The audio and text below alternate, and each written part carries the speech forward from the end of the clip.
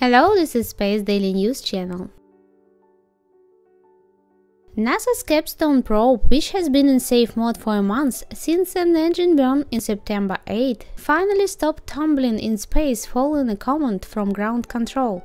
The command executed on Friday, October 7, resulted in a clearing a major hurdle in returning the spacecraft to normal operations, NASA wrote in an update to its Artemis blog. The 55-pound spacecraft initially entered trouble following a valve-related issue in one of the spacecraft's eight thrusters, because one of those thrusters was partially open and causing a spin. The team is now moving further ahead on their recovery plan before the CubeSat's expected arrival at the Moon on November 13.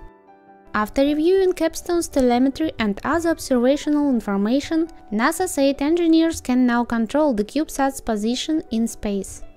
Capstone now has oriented its solar arrays to the Sun and adjusted the pointing of its antennas to provide a better data connection to Earth. However, more tweaks might be needed to stop the partially open thruster valve from interfering again with Capstone's position in space. Nevertheless, the spacecraft remains on track to occupy a lunar near rectilinear halo orbit and test its stability ahead of Gateway's arrival in a few years. Capstone was launched atop a Rocket Lab Electron booster on June 28 and has already overcome another major glitch.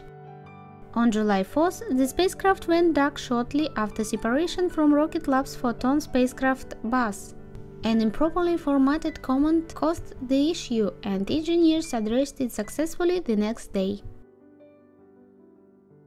Space Daily News Subscribe to stay up to date.